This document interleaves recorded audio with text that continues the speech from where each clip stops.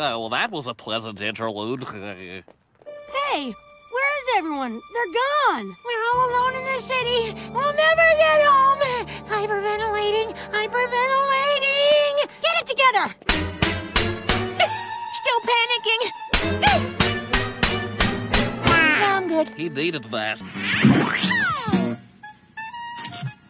how you Theodore?